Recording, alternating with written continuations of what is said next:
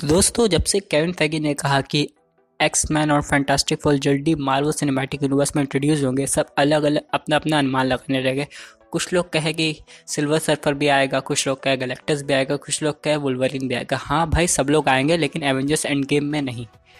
लेकिन अब लोगों का ये कहना है कि एवेंजर्स एंड गेम में वुलवरिन दिखाई देगा, वो भी पोस्ट क्रेडिट सीन में।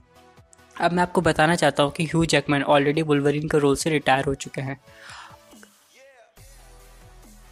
और उन्हें कन्विंस करने के लिए बहुत सारे एक्टर्स सामने आए, जैसे Ryan Reynolds Robert Downey juniors और सेबेस्टन स्टैन लेकिन अभी ह्यू जैकमैन का कोई मूड नहीं है दोबारा वुलवरिन का रोल करने का, क्योंकि उनका अब सुपर हीरो के कैरेक्टर से हट के थिएटर परफॉर्मेंस पे ज़्यादा ध्यान है। और जैसा कि हम सब जानते हैं, कोई भी अगर एक्टर सुपर हीरो का रोल प्ले करता है तो उसको कितना ज़्यादा अपने फिजिक को मेंटेन करना पड़ता है, जिससे उसकी पर्सनल लाइफ में भी थोड़ा स्ट्रेस आ जाता है।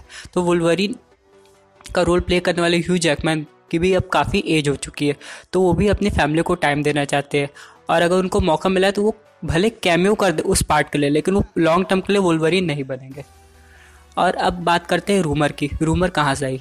तो जब गूगल पर आप लोग टाइप करेंगे ह्यू जैकमैन बेस्ट फ़िल्म तो उसमें एवेंजर्स एंड गेम का भी नाम आता है।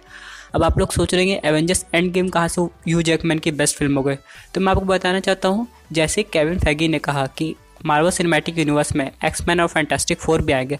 वैसे अलग अलग आर्टिकल छपने लगे इस रूमर को लेके कि हो सकता हो वुलवरीन भी एवेंजर्स एंड गेम में हो। और वुलवरीन से सीधा सीधा नाता है ह्यू जैकमैन का। तो इस तरह से न्यूज़ ट्रेंडिंग में आ गई और ह्यू जैकमैन के लिस्ट में एंड गेम मूवी का भी नाम आ गया।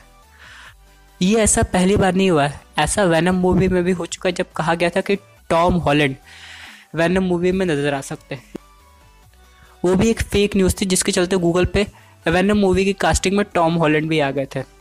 इसी तरह सिल्वर सर्फर गैलेक्टर्स इन एवेंजर्स वगैरह वगैरह वगैरह। तो दोस्तों, ये एक रूमर है, जब तक कोई सेट पिक लीक नहीं होती, जब तक कुछ पर्टिकुलर एविडेंस नहीं मिलता कि ह्यू जैकमैन एक्चुअल में वुलवरिन का रोल प्ले करेंगे एवेंजर्स एंड गेम के पोस्ट क्रेडिट सीन में कुछ नहीं कहा जा सकता। तो दोस्तों, आपको ये न्यूज़ कैसी लगी? कमेंट करके हमें ज़रूर बताएँ।